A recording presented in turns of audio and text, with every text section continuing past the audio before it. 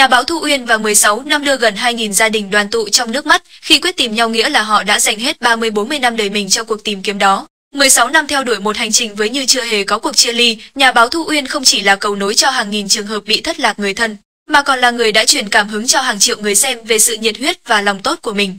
Theo năm tháng, như chưa hề có cuộc chia ly đã trở thành chương trình quốc dân, một chương trình mà có thể mang đến những nụ cười, những giọt nước mắt và lay động cả những trái tim. Quy WeChoice Award 2023 rất vinh hạnh khi có sự góp mặt của nhà báo Thu Uyên trong vai trò thành viên hội đồng thẩm định. Chúng tôi đã có một cuộc trò chuyện thật ý nghĩa với chị trong một ngày đầu năm mới, để cùng nhìn lại hành trình đã qua của Như chưa hề có cuộc chia ly và cũng là nghe chị sẻ chia thêm những suy nghĩ của mình về WeChoice Award 2023. Khi người ta quyết đi tìm nhau nghĩa là họ đã dành hết 30-40 năm cuộc đời cho cuộc tìm kiếm đó. Điều gì thôi thúc khiến chị bắt đầu chương trình như chưa hề có cuộc chia ly. 16 năm trước, năm 2007, chiến tranh vẫn chưa quá xa như bây giờ, xã hội đang trong đà phát triển rất nhanh. Vậy nên những câu chuyện thất lạc cũng còn rất nhiều và cũng chưa có những công cụ giúp mọi người tìm được nhau. Thời điểm ấy, người ta chỉ có thể đăng tin lên báo đài và cũng chẳng có một hệ thống nào để xử lý việc nhận tin cũng như kết nối và tìm kiếm. Những mẫu tin như vậy trôi trượt đi dần và lượng người có thể tìm được nhau gần như là không có. Điều đấy thôi thúc tôi nhất định phải thực hiện một chương trình giúp mọi người có thể tìm kiếm được nhân thân của mình. Từ những năm 2000, tôi đã nung nấu ý tưởng về một chương trình như vậy và có đặt vấn đề với lãnh đạo VTV. Nhưng ngay cả VTV lẫn chính tôi đều không đủ khả năng làm phần việc thám tử và VTV cũng chưa có chức năng tìm người thất lạc mà chỉ gói gọn trong việc tìm ra và đến quay. Tôi không tìm được cách để xử lý và cứ thế cho đến năm 2003, 2004. Khi bắt đầu có xã hội hóa báo chí với các chương trình truyền hình, tôi mới tìm cách đặt lại vấn đề với cơ quan. 2007 đánh dấu việc như chưa hề có cuộc chia ly phát sóng tập đầu tiên. Đó là cả một hành trình rất dài kể từ khi tôi ấp ủ ý tưởng cho đến khi chương trình thành hình.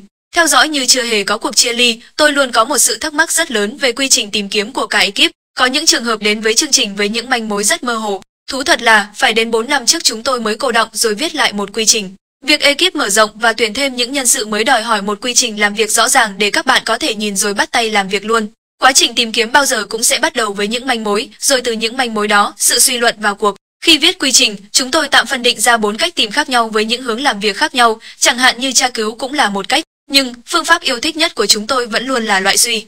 Mọi người thường nói rằng bây giờ việc tìm kiếm thuận tiện hơn rất nhiều do đã có nền tảng dữ liệu dân cư. Việc dựa vào đó để sàng lọc thông tin cá nhân vô cùng đơn giản. Tuy nhiên, thực tế rất khác. Kinh nghiệm của tôi cho thấy số trường hợp đủ yếu tố tra cứu chỉ chiếm 5% thôi. Và trong 5% đấy để đưa ra kết quả đúng là người đó thật lại chỉ chiếm 1%. Vậy nên với tôi, quan trọng nhất vẫn là suy luận logic. Tại sao tôi lại nói tra cứu là một phương pháp có hiệu quả hạn chế? Hãy thử tưởng tượng, bản thân là một đứa trẻ 4 đến 5 tuổi đi lạc thì trong ký ức của bạn, người thân có rõ nét không? Mẹ trông ra sao? Bạn đi học ở chỗ nào? Tên cha tên mẹ anh chị em.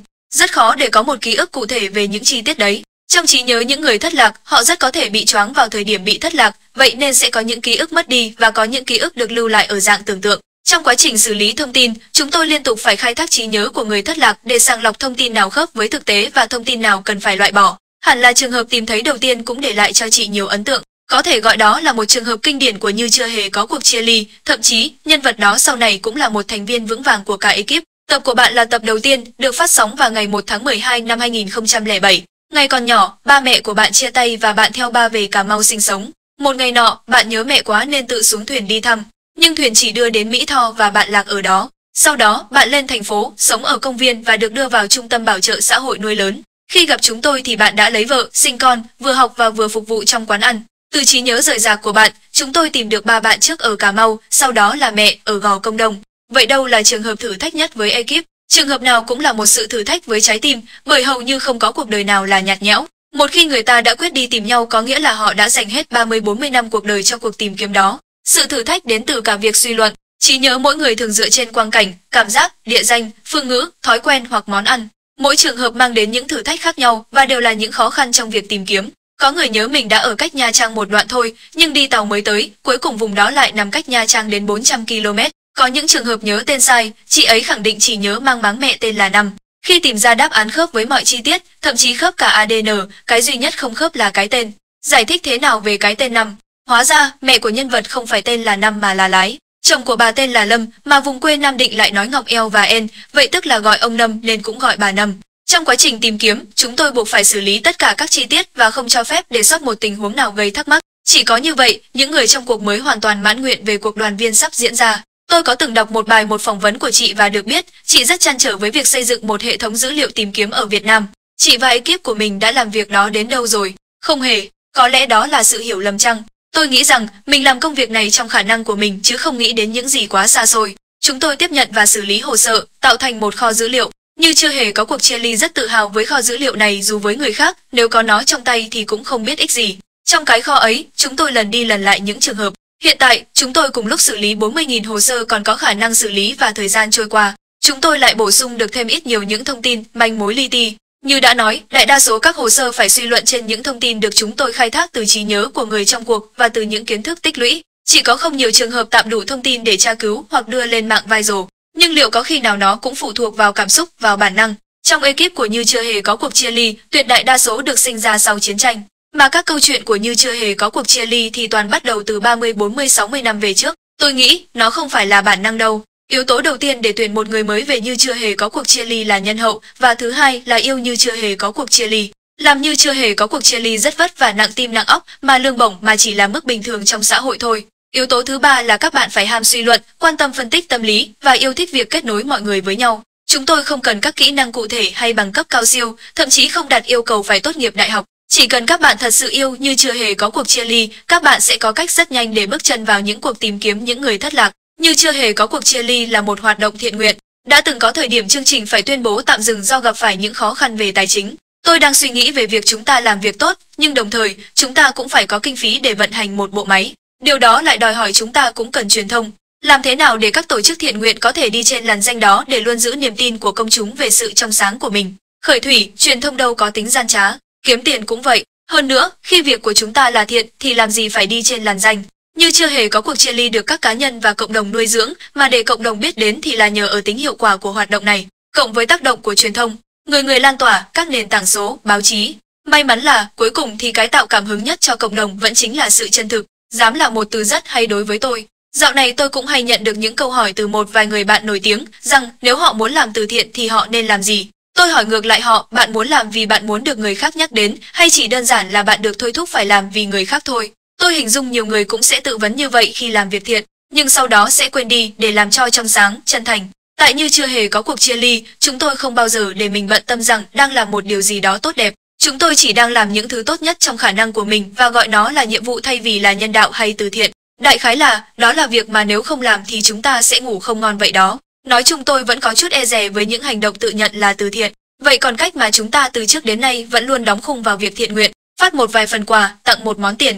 Hình như nó chỉ giải quyết nhu cầu làm việc tốt của người cho đi, chứ chưa thật sự nghĩ đến người cần. Vì sao mọi người cứ chọn những phương pháp vừa ngắn vừa dễ để giúp đỡ người khác? Theo tôi là bởi cuộc sống quá bận rộn, ai cũng phải sống phải mưu sinh, đâu còn thời gian để quan tâm nhiều đến số phận người khác. Vậy nên, không đưa được cần câu thì họ đành vừa lòng với việc gửi con cá. Đôi khi, mọi thứ dần trở nên sai đi với cả những người nhận lẫn người cho. Tôi thấy việc tốt sẽ trở nên tốt hơn khi mình thật sự hiểu đối tượng nhận là ai. Họ cần gì? Ta theo dõi họ cả một chặng đường dài và đôi khi chỉ cần làm những thứ rất nhỏ thôi mà có ích lớn. Để hiểu, cần rất nhiều thời gian. Cho nên tôi luôn tin vào sự tập trung quan tâm. Làm việc tốt cho một nhóm người mà lâu dài bền bỉ, có lẽ hiệu quả hơn khi việc tốt nào ta cũng tham gia chút đỉnh. Năm nay, chị sẽ tham gia WeChoi Award với tư cách thành viên hội đồng thẩm định. Chị ấn tượng nhất ở WeChoi về điều gì? Điều tôi cảm thấy hết sức thú vị, đó là WeChoi từng trao giải cho một cậu bé xếp xếp. Tôi vô cùng xúc động. Đó cũng là câu chuyện tôi ấn tượng nhất với WeChoi Award. Trong công việc hàng ngày, chúng tôi cũng hay được gặp những con người mà thoáng qua chẳng biết họ là ai. Nhưng nhờ tiếp xúc, chúng tôi luôn phát hiện họ có những điều lấp lánh ẩn sâu bên trong. Tôi rất có cảm tình với WeChoi bởi các bạn đưa đến tiếng nói của những người không hay được nói, cũng không có cơ hội thể hiện, nhưng đang âm thầm làm những điều tuyệt đẹp. Chị nghĩ đến điều gì đầu tiên khi biết chủ đề của WeChoi năm nay là dám đam mê dám rực rỡ. Dám là một từ rất hay đối với tôi, và hai thứ có thể tạo ra hiệu ứng xã hội lớn là đam mê và rực rỡ. Chúng ta là người ngoài, nhìn vào thì nói là dám, nhưng người trong cuộc thì có khi họ chẳng để ý tới sự dám đó đâu. Họ vẫn đam mê và cứ rực rỡ như điều hiển nhiên thôi. Đôi khi, đó không phải mục tiêu cuối cùng của họ, và những điều họ làm đẹp đến mức những người xung quanh sẽ thấy sự rực rỡ để rồi được tiếp xúc từ đó. Cảm ơn chị về buổi trò chuyện này và chúc chị sẽ tiếp tục một hành trình thật đáng nhớ với những dự án của mình. WeChoi Award, giải thưởng thường niên do công ty cổ phần VC Corp tổ chức với mong muốn tôn vinh những con người, kể những câu chuyện truyền cảm hứng nhất, những sự kiện, sản phẩm và công trình có ảnh hưởng tích cực tới cộng đồng. Đã quay trở lại với thông điệp dám đam mê dám rực rỡ sau khi nhận được rất nhiều đề cử ấn tượng do cộng đồng gửi về. Cổng bình chọn của WeChoi Award 2023 đã chính thức mở từ ngày 8 tháng 1 năm 2024. Ngay từ bây giờ, hãy bình chọn cho những nhân vật, câu chuyện mà bạn cảm thấy được truyền cảm hứng mạnh mẽ nhất và xứng đáng tôn vinh tại WeChoice Award 2023. Thời gian bình chọn sẽ kéo dài từ 8 tháng 1 năm 2024 đến 23 giờ 59 ngày 24 tháng 1 năm 2024. Kết quả bình chọn sẽ được công bố vào đêm gala vinh danh và trao giải diễn ra ngày 27 tháng 1 năm 2024. Bình chọn ngay tại wechoi.vn.